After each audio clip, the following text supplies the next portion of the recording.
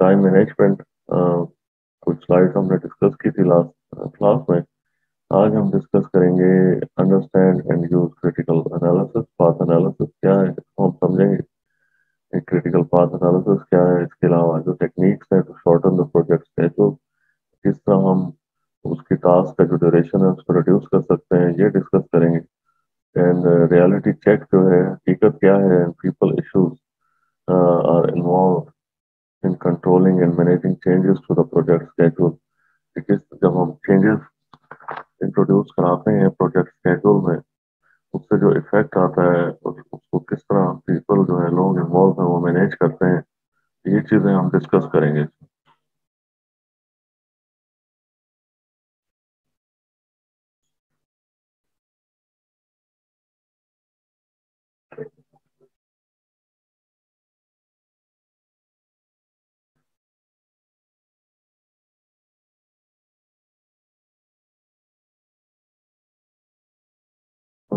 Next is CPM critical path method. CPM is a project network analysis technique used to predict total project duration. ये एक तरीका car है जिससे हम project का टोटल जो ड्यूरेशन है, उसका एस्टिमेट लगाते हैं या पता लगाते हैं, कह लीजिए critical path for a project is the series of activities जो एक्टिविटीज़ हैं प्लानिंग है एनालिसिस है डिज़ाइन है इम्प्लीमेंटेशन है and determine the earliest time by which the project can be completed कि कब वो प्रोजेक्ट जो है कंप्लीट हो सकता है। ये क्रिटिकल पाथ से हमें पता चलता है। Critical path is the longest path through the network diagram जो एक नेटवर्क डायग्राम जो हम ड्रॉ कर करेंगे नेक्स्ट स्लाइड पे है इसका। उससे जो लॉन्गेस्ट पाथ होगा, वो क्रिटिकल पाथ होगा। It has the least amount of slack its slow और फ्लोट फास्ट कहाँ स्लो है? प्रोजेक्ट पे काम हो रहा है, कहाँ फास्ट हो रहा है? ये सब चीज़ें इसमें included in critical pathway. Finding the critical, first develop a good project network diagram. Network diagram क्यों कहते हैं हम उसे कोई एक टास्क दूसरे टास्क से जुड़ी है इसी को हम नेटवर्क कहते हैं when one device is connected with another device. Add the duration for all activities on each path कि उसका जो ड्यूरेशन है डेज़ में है मिनट्स में है आवर्स में है वो हमने इंक्लूड करना है ईच टास्क का तो the project network diagram and the longest path जो उसमें टोटल जब करेंगे तो सबसे जो लॉन्गेस्ट पाथ होगा, उसे हम क्रिटिकल पाथ कहेंगे। No consider the following diagram इसमें एक्टिविटीज़ है one two three four five six और जो ड्यूरेशन असाइन है लेट से वन टू टू तक, ठीक है ना? एक से दो तक जो है A is equal to two assume करते हैं हमें कि दो दिन दरकार है, ठीक है जी? और टू से थ्री तक पाँच दिन दरकार है थ्री से फोर तक, दो दिन दरकार है फोर से सिक्स तक हमें एक दिन दरकार है। अब इसमें दो पाथ हैं पैरेलल में काम हो रहे हैं, अगर आप देखें फोर और फाइव जो है, ठीक है? अब जो दूसरा पाथ बनता है, वो ए बी डी एफ़ बनता है, ठीक है? जो पहला पाथ है, वो ए बी सी ई बन रहा है। अब इसमें हम इंक्लूड कर लेते हैं, इनको प्लस कर लेते हैं two plus five seven seven plus two nine and one nine plus one, ten. तो ये एक पाथ का टोटल ड्यूरेशन बन रहा है टेन। अब हम दूसरे पाथ पे आ जाते हैं जो कि ए बी डी एफ़ इसमें two plus five seven seven plus seven fourteen and fourteen plus two equal to sixteen तो ये लॉन्गेस्ट पाथ बन रहा है तो इसे हम कहेंगे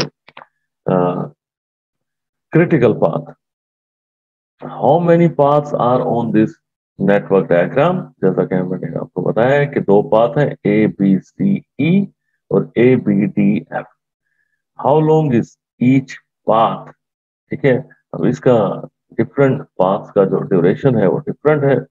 ठीक है? फ़र्स्ट वाला जैसे मैंने अभी कैलकुलेट किया टेन है और दूसरा ए बी डी एफ़ वाला जो बन रहा है, वो सिक्सटीन बन रहा है। So which is the critical path? Critical path is the longest path. So जो 16 वाला पाथ है, ये क्रिटिकल पाथ है।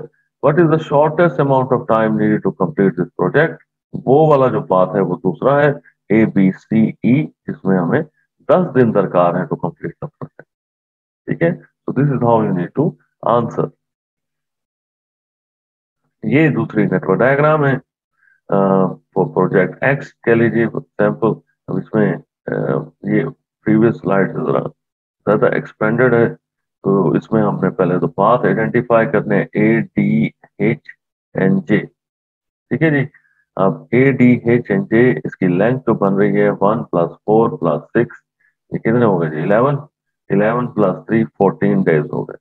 अब हम आ जाते हैं दूसरे पाथ पे, जो कि है बी ई एच जे अब इसकी जो लेंथ बन रही है two plus five plus six plus three is equal to sixteen days अब हम आ जाते हैं तो शॉर्टेस्ट पाथ इसमें बन रहा है B F J two plus four plus three is equal to nine days अब हम जा, आ जाते हैं। लास्ट जो इसका पाथ है सी जी आई जे इसकी जो लेंथ बन रही है वो बन रही है fourteen days so since the critical path is the longest path through the network diagram so path to which is sixteen days is going to be the critical path for this project and the shortest path is the B F J जो के इसके लिए हमें 9 दिन दरकार है।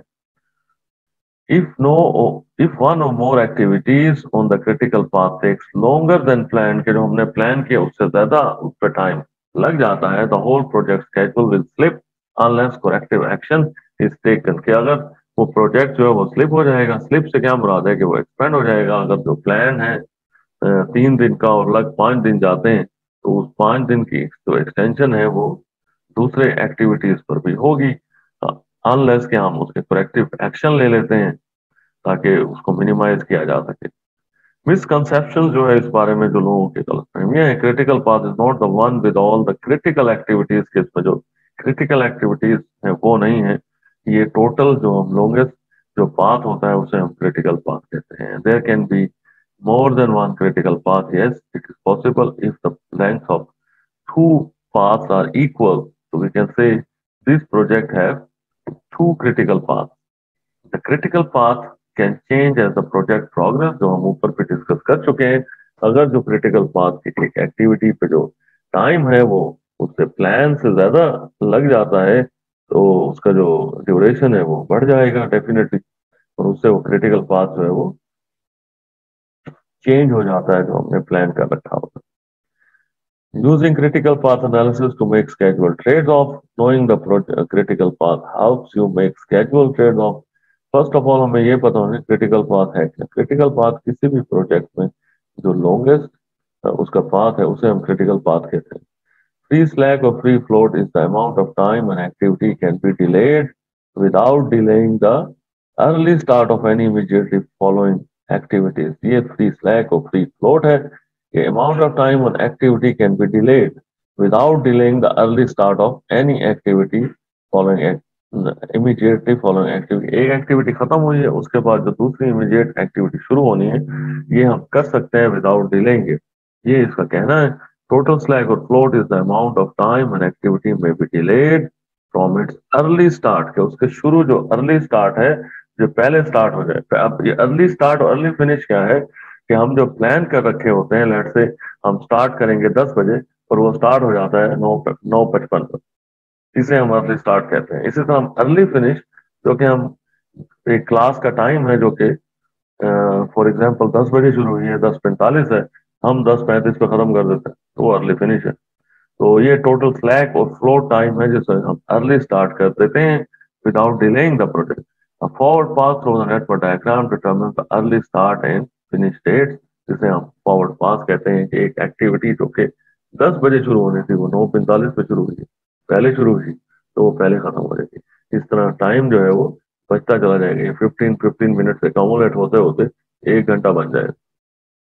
वो एक घंटा प्रोजेक्ट आप पहले खत्म कर सकते हैं। इसका कहने का मकसद ये है early start early the backward pass determine the late start and finish date अगर बैकवर्ड से क्या मुराद है कि अगर कोई चीज़ स्टार्ट हुई है और वो लेट स्टार्ट हुई है, उसकी वजह से बाकी एक्टिविटीज़ भी डिले होंगी। तो उसे हम बैकवर्ड पास कहते हैं मीन ड्यूरेशन जिसकी वजह से पूरा प्रोजेक्ट की एक्टिविटीज़ जो है वो एक्सटेंडेड हो गई है mean longer than the plan है। ये एक डायग्राम है calculating early and late start and finish E S is early start E F is early finish Similar late start late finish ठीक है जी अब ये पहला प्रोजेक्ट है जो जीरो से स्टार्ट हो रहा है जीरो पे ही एंड हो रहा है फर्स्ट एक्टिविटी जो we start now we go to the a activity where it will start at zero and finish on 5. So 5 plus 5 is 10 and so means this activity starts early start at 5 and finish at 10. Then because it completes at 10, we move to the C activity which is 10, 10 plus 7 goes to 17. So the start is at 10 and finish on 7. Similarly, we go to the uh, B activity, which for 10 days. So start at 0 and finish at 10. Start at 0 and finish at 10. So if you notice this A and B, it is uh, when it reaches to C, it starts at 10 and completed with 7 because C got 7 days to finish. So free slack equal to minimum ES at the start of successor. Successor means where the activity is coming from the, the previous uh, activity. Let's say C पे हम आ रहे हैं तो A इसका successor हो गया. Duration of the activity also we need to count. So this is what uh, early start, early finishes.